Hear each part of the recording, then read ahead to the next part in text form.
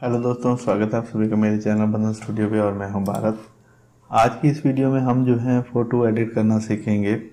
वैसे तो मैंने ट्यूटोरियल्स बहुत सारे बनाए हुए हैं, लेकिन हर तस्वीर को अपने हिसाब से एडिट किया जाता है। तो आज इसके ऊपर हम काम करेंगे, और किस तरह से इसका जो है, ये ग्रीनरी को हम चेंज भी कर सकते हैं, और जो इसके अंदर सब्जेक्ट है, उसके कलर वगैरह को कैसे एडजस्ट करेंगे। और किस तरह से पिक्चर्स बनाएँगे थंबनेल तो आपने देख लिया होगा। तो चलिए शुरू करते हैं। सबसे पहले इमेज में जाना है एडजस्टमेंट में और यहाँ पे सिलेक्टिव कलर पे। तो यहाँ से आपने पहले वो कलर सेलेक्ट कर लेना जाए जो कि इमेज के अंदर से आपने हटाना है या चेंज करना है या कुछ उसके अंदर तब्दीली करनी है, वो कलर सेलेक्ट होना चाहिए। उसके बाद ये देखिए अब आई ड्रॉप बन गया है, जैसे कि हमने कोई चीज़ पिक करनी होती है। ये जैसे आ गए कोई कलर को पिक करने के लिए तो वो हमने कलर पिक कैसे करना है? देखिए, जहाँ पे ज़्यादा डार्क कलर हो, वहाँ से आपने पिक करना है। ये देखिए, यहाँ पे भी शो कर रहा है। अब यहाँ पे देखिए, ये है ब्लैक यानी कि एक तरफ़ अंधेरा और एक तरफ़ लाइट ठीक है? तो इसको फ़िलहाल ना छेड़िए। येलो है, ये देखिए क्या हो रहा है। इनको थोड़ा सा पहले समझ लीजिए। मर्जिंडा है, ये देखिए, इससे क्या हो रहा है, ये देखिए, ठीक है? इसी तरह से ये देखिए। अब आपको अच्छे से समझ आया होगा कि कलर कैसे हमारे चेंज हुए हैं। ये देखिए, यहाँ पे रखना है। ये देखिए, ये हमारा कलर जो है, येलो। हमने रखना है या बढ़ाना है, इसलिए इसको हमने हंड्रेड प्लस कर दिया। अब ये है लाइट डार्क और वाइट तो पिक्चर के हिसाब से इसको एडजस्ट करना जैसे कि मुझे यहाँ तक बेटर लगा तो मैंने यहाँ पे सिंपली रख दिया। ओके कर दिया। उसके बाद एक बार फिर से आपने यही चीज़ दोहरानी है, क्योंकि आपकी इमेज में देखो तो यहाँ पे कोई और कलर अभी भी है। तो आपने फिर से वही ग्रीन सेलेक्ट किया।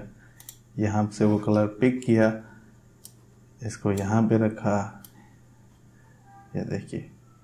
यहाँ पे भी ध्यान रखना है इमेज के अंदर कि वहाँ पे तो कुछ तब्दीली नहीं हो रही। ये देखिए, ठीक है? ओके हो गया।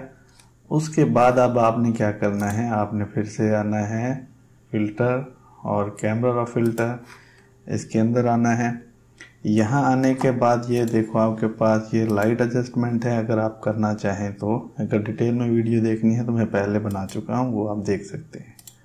कलर में आते हैं और यहाँ से कलर थोड़े से बढ़ा देते हैं। ठीक है? वाइब्रेशन से और सेचुरेशन से भी हल्का सा बढ़ा देते हैं। ठीक है? या आप अपने हिसाब से रखिएगा। मैं यहाँ से थोड़ा कम कर देता हूँ। उसके बाद देखिए कलर मिक्सर ठीक है? यहाँ पे देखिए येलो ठीक है? और यहाँ पे देखिए ग्रीन यहाँ पे भी आपको नज़र आ रहा है। ये देखिए। इससे क्या होगा कि वो थोड़ा कम हो जाएगा। ये देखिए। ठीक है? ये देखिए, और यह लोग अपने हिसाब से रख सकते हैं, और यहाँ से ये देखिए। ठीक है? ये देखिए। ये है रेड को थोड़ा सा डार्क कीजिए, और यहाँ पे आकर रेड को थोड़ा सा और बढ़ा दीजिए। ये है स्किन टोन इसको भी हल्का सा बढ़ा दीजिए, ठीक है? और उसके बाद यहाँ पे आप बिफोर एंड आफ्टर देखिए, कितना कलर में फ़र्क आ गया और उसके बाद ओके कर दीजिए। तो उसके बाद आपने फिर से इमेज में आना है एडजस्टमेंट और यहाँ पे फिर से वही सिलेक्टिव कलर और यहाँ से अब आपने लेना है ब्लैक और इसको कर देना है फाइव पे। ठीक है? उसके बाद आपने फिर से आना है नेचुरल सेलेक्ट करना है और इसको भी कर देना है फाइव और उसके बाद ओके कर देना है। तो अभी आप देख सकते हो कि आपकी इमेज किस तरह से एडिट हो चुकी है। जूम करके भी देख सकते हैं। ये देखिए कलर वगैरह सब कुछ ओके हैं और एकदम से अच्छी इमेज एडिट हो गई है। अगर फिनिशिंग वगैरह करनी है तो उसके लिए भी आपके पास अगर प्लगइन है, आप वो यूज़ कर सकते हैं। इस इमेज में ज़रूरत नहीं है। ये ऑलरेडी जो है फिनिशिंग की हुई है। मैंने जस्ट इसके ऊपर एडिट करना आपको बताएँगे कैसे आप एडिट करके उसको एक अच्छा लुक दे सकते हो। तो वीडियो अच्छी लगी हो तो इसको लाइक कीजिए और अपने दोस्तों के साथ शेयर करें। मिलते हैं नेक्स्ट वीडियो में कुछ नई चीज़ के साथ। Thank you